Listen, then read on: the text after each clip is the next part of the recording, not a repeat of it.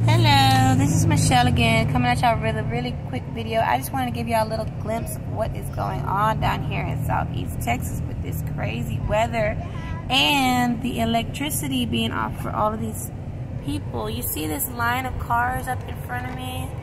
This is not the, um, this is the road, but these are people actually in line waiting to get into Whataburger.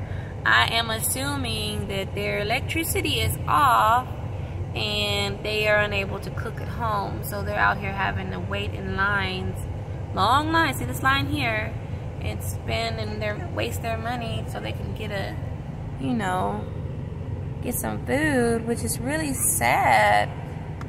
Um, I don't think it would be this bad if the electric was on, but I think due to the electric being off, we gotta, everybody's out here, you know, trying to do what they can, but um, I just want to give you a little glimpse of some of the things going on here in Southeast Texas. Y'all take care.